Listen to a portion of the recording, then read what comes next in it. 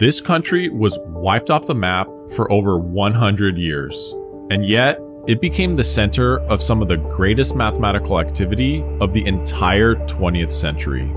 How? This notebook.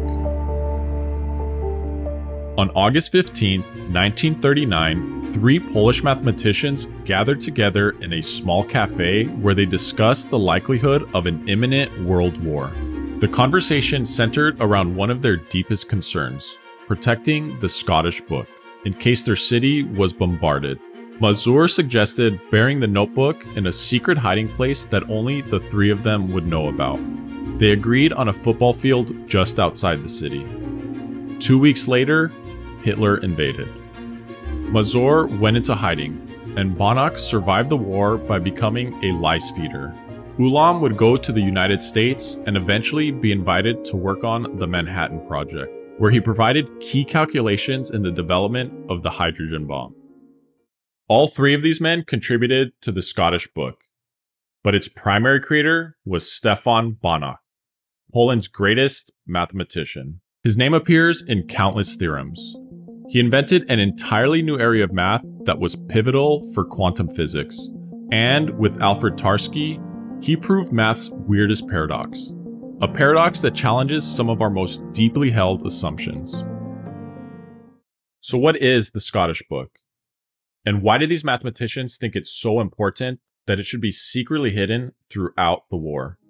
It is a notebook filled with 193 of the most challenging problems, written and solved by some of the greatest mathematical minds. It became a symbol for a golden age of mathematics in Poland, started a long-standing tradition of collaborative problem solving that continues to this day, and provides a unique glimpse into the charming personal side of what's often viewed as cold, abstract mathematical research. To truly understand its significance, we must consider the culture from which it originated. Poland's contributions to mathematics has quite an unlikely history. You see, from 1795 to 1918, Poland had no independent existence and was split between Germany, Russia, and Austria. During this time, Polish people living in these lands focused their efforts on preserving their language and culture primarily through literature and poetry. The culture that endured throughout this trying period was so united, however, that 19th century Poland has been described as a nation without a country. Though some mathematics was developed, it was all written in Polish and consequently not accessible to the outside world. So while German and French mathematics thrived throughout this century, Polish mathematics was comparatively non-existent. But in 1918, as the First World War was coming to an end, all of that was about to change thanks to one man's vision. Zygmunt Janiszewski was a man born and raised in Warsaw. Eventually, he moved to Paris to do his PhD work in topology. He was supervised by none other than Henri Lebesgue, the inventor of measure theory. In 1918, World War I came to an end and Poland regained its independence. As one of the few prominent Polish mathematicians at the time, Janiszewski published an influential paper where he outlined a blueprint for how math should develop in this newly reunited country. His vision was simple yet profound. Given its lack of mathematical traditions at the time, Janiszewski proposed that Poland focus all of its efforts on training mathematicians in only three fields logic, set theory, and measure theory. His plan was wholeheartedly embraced, and soon after, he created the first ever specialized math journal, a journal that attracted papers from all over the world in various languages and established a strong connection between Polish mathematicians and the rest of the global math community.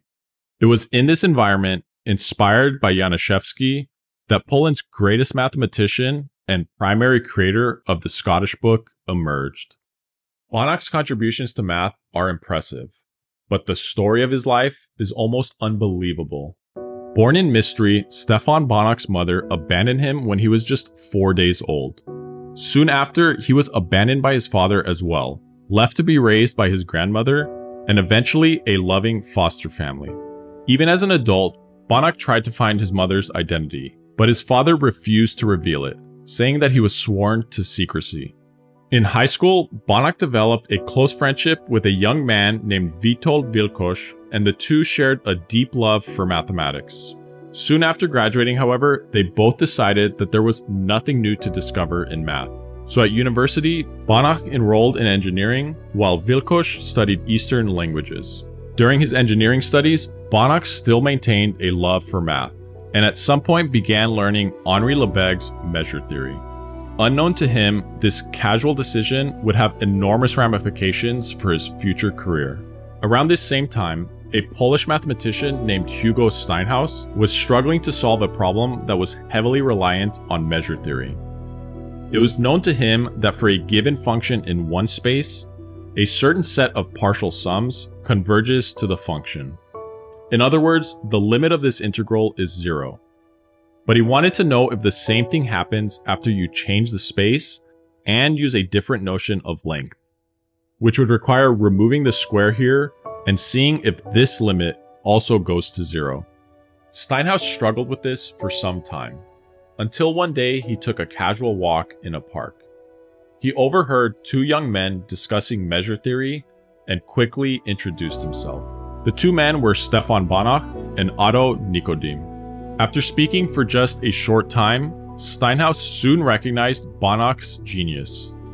So he told him about the problem he had been stuck on. Just days later, the young Banach would solve it. He discovered a counterexample and proved that the limit does not converge. He then wrote up the solution with Steinhaus and published his first ever mathematical paper. Reflecting on this chance encounter with the young Banach, Steinhaus would later in life say that he considered it to be his greatest mathematical discovery. Banach was clearly a natural genius, but in order to get good at math, you don't have to be. All you need is hard work, discipline, and Brilliant. If you haven't heard of it before, Brilliant is an incredible online hub of courses related to math, physics, and even computer science. Here, you can learn tons of interesting math develop intuition, and train your problem solving skills all at the same time. What's more, you can do it on any computer or mobile device. Something I've really enjoyed lately is going through their course on logic. It's not just dry definitions and truth tables like you'd see in many textbooks. With Brilliant, refining your reasoning abilities can be done in the best possible way. Through play. To learn for free on Brilliant, go to brilliant.org slash abide by reason scan the QR code on screen, or click on the link in the description. Brilliant's also given my viewers 20% off an annual premium subscription, which gives you unlimited daily access to everything on Brilliant. Banach's career had an unusual start, and the rest of his story gets even weirder. Steinhaus took him under his wing and gave him the chance to become a research mathematician. The two eventually moved and worked together at a university in the city of Lvov, Poland. Banach thrived here. Despite having no formal math degree, he was hired as a professor under the condition that he would defend a PhD thesis in just under one year. After six months, however, he had so many new results that he was tricked into doing his defense early. Completely unknown to Banach, someone compiled all his results into a dissertation. Then, some professors casually asked him to come into a room to answer questions they had. He answered them all thoroughly without having any clue that the entire meeting was arranged as his PhD thesis defense. And this thesis, unsurprisingly, was brilliant. As just one small part of it, he invented an entirely new mathematical space that leads to geometries where spheres can become cubes and circles can become squares. If you're curious how that works, you can check out my video on Banach spaces below. An interesting quirk about Banach is that he couldn't stand working in silence or alone. He preferred noisy places and collaborations. As Ulam would once write, whether in a university office or in a cafe, you could sit with Banach for hours discussing a mathematical problem. He drank coffee and smoked cigarettes almost constantly, Banach's favorite place to work was a coffee shop down the road from the university, the Scottish Cafe. A cafe which, just like the book, has absolutely nothing to do with Scotland. It got its name due to its uncanny resemblance to a Scottish castle. It was here that he did most of his work, and the Scottish book originated.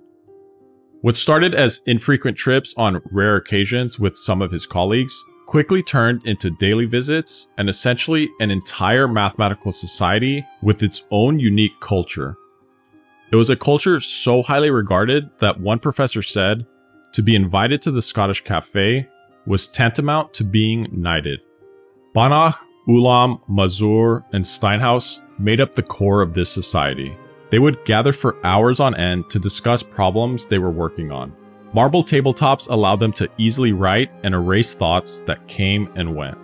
According to Steinhaus, one session lasted 17 hours and resulted in the successful proof of an important postulate concerning Banach spaces. No permanent record of it was made, however, and no one since has been able to reproduce it because it was probably completely erased from the tabletop by the cleaners. Unfortunately, many other proofs derived by Banach and his students suffered the same fate. Quickly, they realized that they needed a better system to track their progress. So Banach went to a shop to purchase a notebook, and the Scottish book was born. This notebook was safely guarded by one of the waiters, and only taken out when requested by a mathematician who wanted to contribute a new problem or write down a solution to one already in it. In total, 193 problems were written and included in the Scottish book. The problems were based on various topics ranging from set theory and group theory to measure theory and functional analysis. A number of them also had eccentric prizes attached to them. Of course, the most common was whiskey, beer, or wine. But there was also a live goose, a kilo of bacon, and a week-long visit to Copenhagen. The problems were written by Banach, Steinhaus, Mazur, Ulam, and more than 20 other contributors including even a few unexpected cafe visitors. Some were solved quickly, others took many years, and some remain unsolved to this day. The problem that promised a live goose as a prize was created by Stan Mazur in 1936. A problem closely related to a famous problem about Banach spaces, it was solved 37 years later by Per Enflo.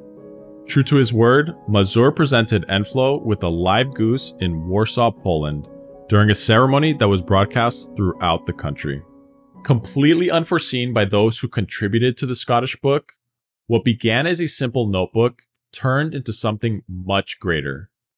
The Scottish book has been described as 20th century's greatest mathematical relic, and it truly deserves that name. In a country that didn't exist for 123 years, an extraordinary surge of mathematical brilliance occurred over the span of just 23 years. There were other great Polish mathematicians at the time, but the group that contributed to the Scottish book is rightly viewed as Poland's greatest mathematical school, with Banach as its leader. In fact, this book had such a profound influence on others that its tradition has inspired other similar notebooks, including one in modern day Lviv, Ukraine. Today, there is a new Lviv Scottish book that current mathematicians still contribute problems to. One of its more recent problems asked whether a particularly tricky series converges or not. It was also posted on Math Overflow and then unexpectedly answered by none other than Terence Tao. In keeping with tradition, he was awarded a bottle of mead as his prize. Another unique quality of the original Scottish book is that not only does it provide a glimpse into the incredible mathematical culture in which it was created, it even yields insight into broader historical events. The book suddenly stops at problem 193, which was written by Hugo Steinhaus on May 31st, 1941. Tragically, the great math school that Banach worked so hard to create was almost instantly destroyed. Certain estimates say that Poland lost around 50% of its mathematicians in the war. Some were fortunate enough to have fled to other countries like Ulam, but many were tragically murdered.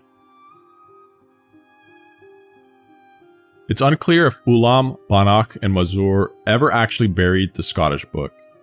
But thanks to their foresight, it would somehow survive the war as it passed from Banach to his wife and then his son. After the war, his son would give it to Steinhaus. who then sent it to the United States to Ulam. Eventually, Ulam would translate it and make it accessible to the English speaking world. With its still unsolved problems and a portrayal of a charming personal side of math, the Scottish book continues to inspire.